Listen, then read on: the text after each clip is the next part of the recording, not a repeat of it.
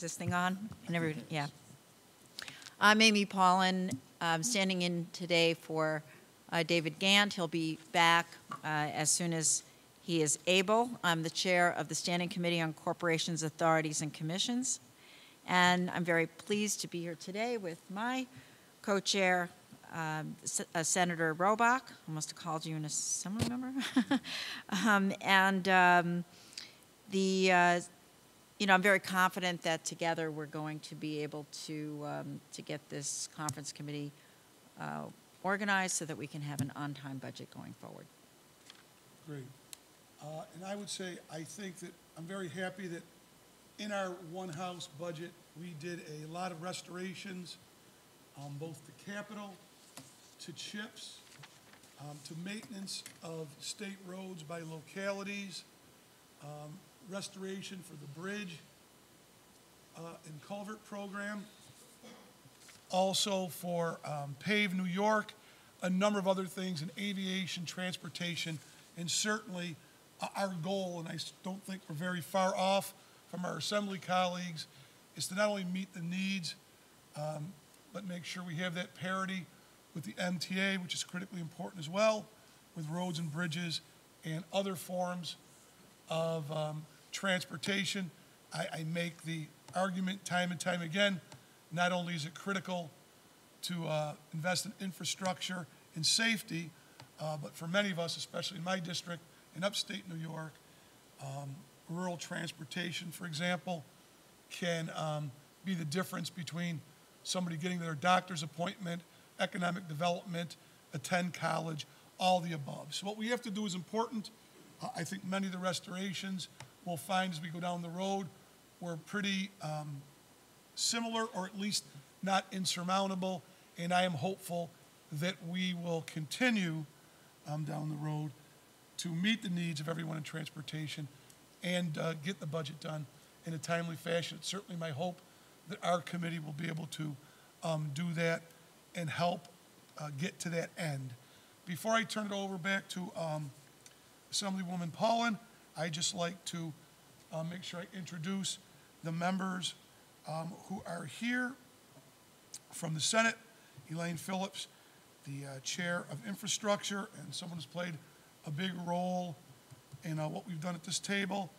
My friend to the west of me, Mike Ranzenhofer, and I'd also like to say, um, filling in for um, the minority, uh, they're standing Brian Benjamin, who um, I think is joining us for the first time.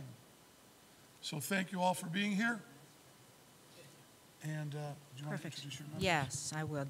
First, I'm going to explain, you know, what the, what the um, conference committee covers, you know, um, and it's related to the Departments of Transportation and Motor Vehicles, the Thruway Authority, and the Metropolitan Transportation Authority, among uh, some others. Those are the key. So, um, with that, I'd like to introduce the assembly members that are part of this committee, and that's uh, to my left, immediate left, um, uh, Michael Cusick, Chair of the Assembly Committee on Energy, uh, Phil Steck from Assembly District 110. Uh, Who's next? Um, Well, and then I'm going to skip over to other members of the committee, and then I'll introduce the alternative members. Uh, We have Phil Palmesano uh, from, and he is the ranker on energy, uh, and he's from Assembly District 132. And then the alternate members of the subcommittee are uh, Rodneyse Bichotte from Assembly District 42, Tremaine Wright, Assembly District 56, and David McDonough, who is not here. So with that, I'm going to turn it back over to Mike. Is a um, You have to introduce the- perfunctory point too, um, just for the record, we will be naming um, Tyler Broker. Tyler, if you want to give a wave, will be our recording secretary for the um, Standing Committee on Transportation Conference Committee.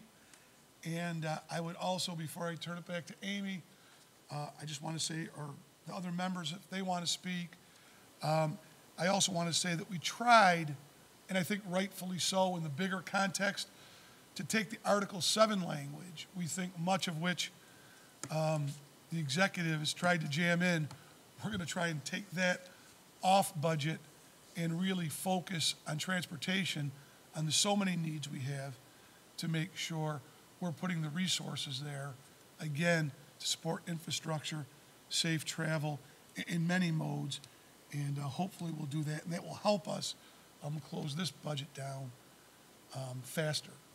Uh, With that, I'd just like to go down the what, aisle. I'm just going to name the recording secretary. oh, I'm sorry. Yeah, yeah, it's okay. I'm just going to name on the assembly side, uh, we have Logan Hardy, who will be our recording secretary. Logan, you want to, where are you? Uh, There you go. And, Don't um, get so excited, Logan.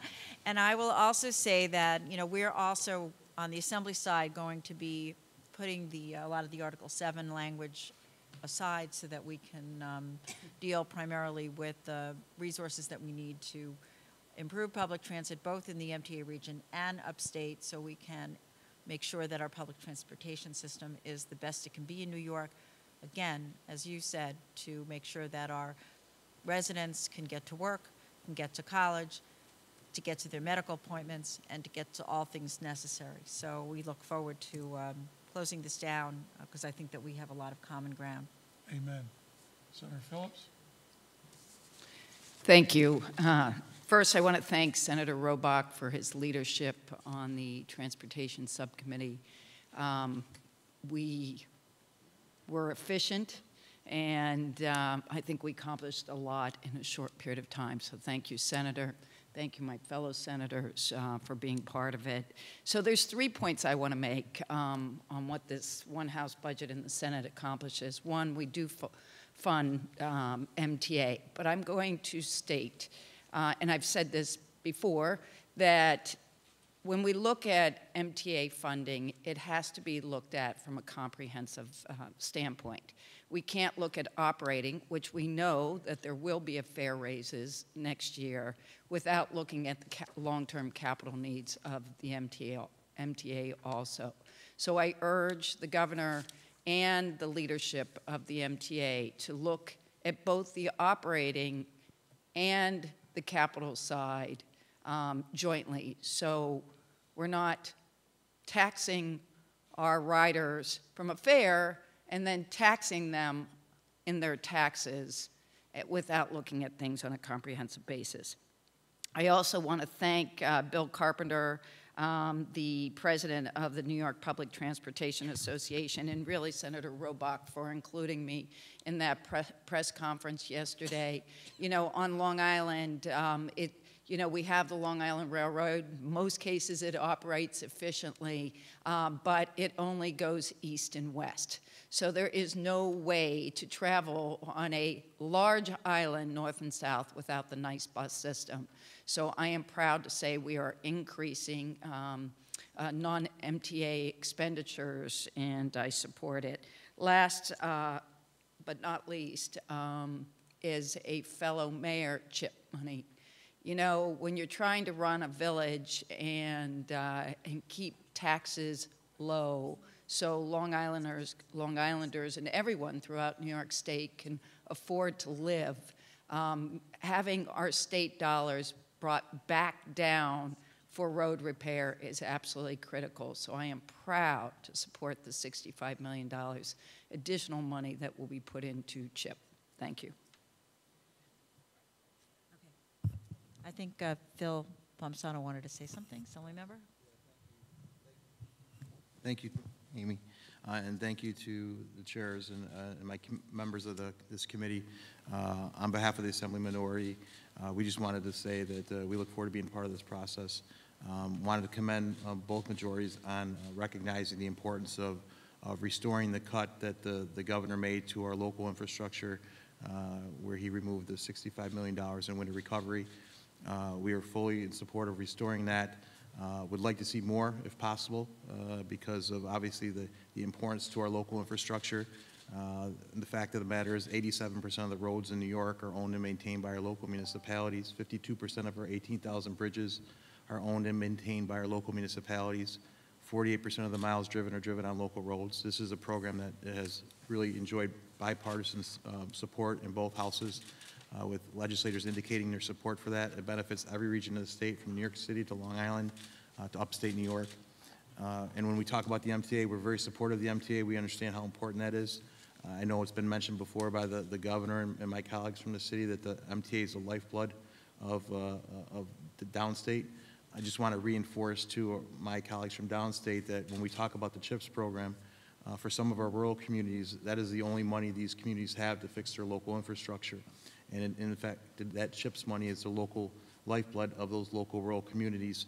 Uh, So it's my hope that as this discussions go with this budget negotiations, uh, and I hope this conference committee can send a strong message to the executive that uh, that 65 million or the 80 million that the the assembly uh, majority put in their budget, uh, whatever formula it goes through, that that's the floor, not the ceiling.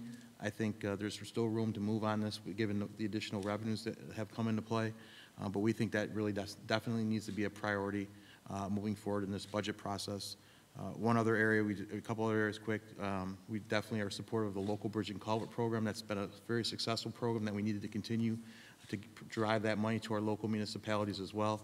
Uh, I know the comptroller put out a report recently and said about the, the, the need in our locals is about $27 billion, an unmet need just on the bridges and culverts. So that's why that funding is important and critical. And uh, another piece that I know um, that we've been talking about, I think it was in the Senate, one House budget, it wasn't in the Assembly, but I know my colleague um, from the Assembly Majority uh, had talked about this as well, and that would be the the reimbursement rate for arterial highways. Um, uh, It's been statutory since 1987 that the, the, the rate that local municipalities get for maintaining state highways is about 80 cent, 85 cents uh, per mile.